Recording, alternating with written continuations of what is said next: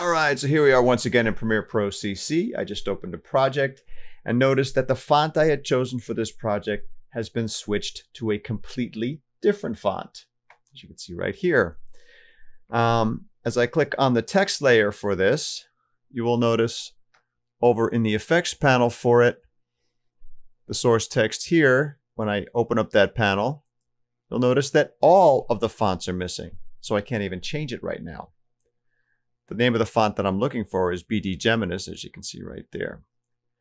So the first solution to try in this situation, and probably the easiest, is to clear the project media cache, which I can show you how to do. To do that, you go to Edit, then down to Preferences, up to Media Cache, and then that will open a dialog window for you.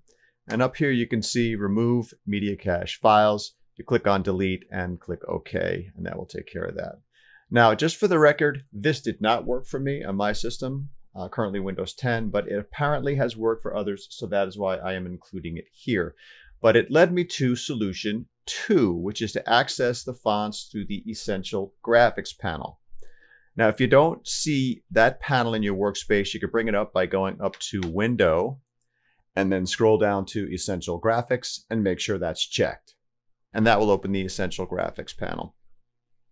So once that's done, once again, you want to click on your text layer, then go over to the Essential Graphics panel, click on Text, scroll down, and you will notice that there is a list of fonts there. Now this is not a complete list. If you happen to see the font that you're using in your project, you can go ahead and select that and you can change your text layer right there. However, the list does not always show the fonts that you may have downloaded or the ones you may have gotten from the Adobe website. And that is the case with my project. This list does not display the font I originally chose for this text. In this case, it's BD Geminis, as you see here, and I think that's why it's in brackets, because it doesn't appear in this list.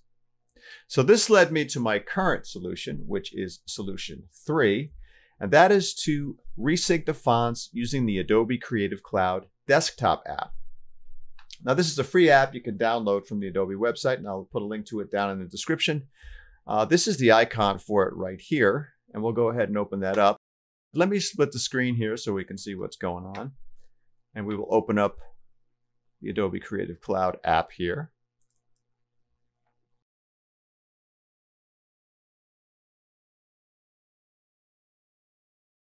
So what should happen here is as the program is loading, it should sync all the fonts, including the downloaded ones, back to Premiere.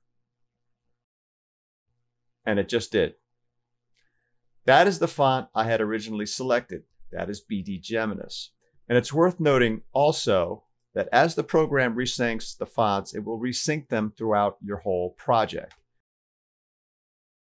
For example, if I go to the next text layer over here in the project, you will notice but that font is also BD Geminis. That was resynced when the program reloaded.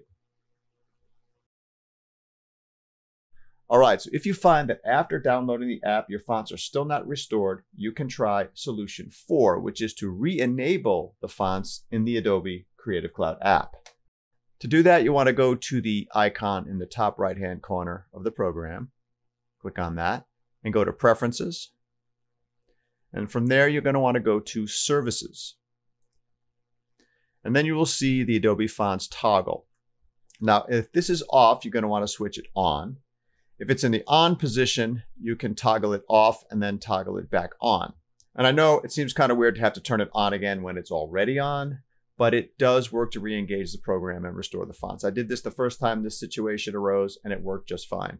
And since then, the fonts now automatically sync simply by opening the Creative Cloud app. So if you still have difficulty after these solutions, you can always try restarting Premiere Pro and or your machine and try the solutions once again. With solution four, you could also try just restarting the Creative Cloud app. Sometimes that works as well. All right, that is it for this video. I hope it helps. Once again, please don't forget to subscribe and or follow. Click on that notification bell and the like button, and don't forget to leave me a comment down below. This is Lawrence Ryan. I'll see you in the next one.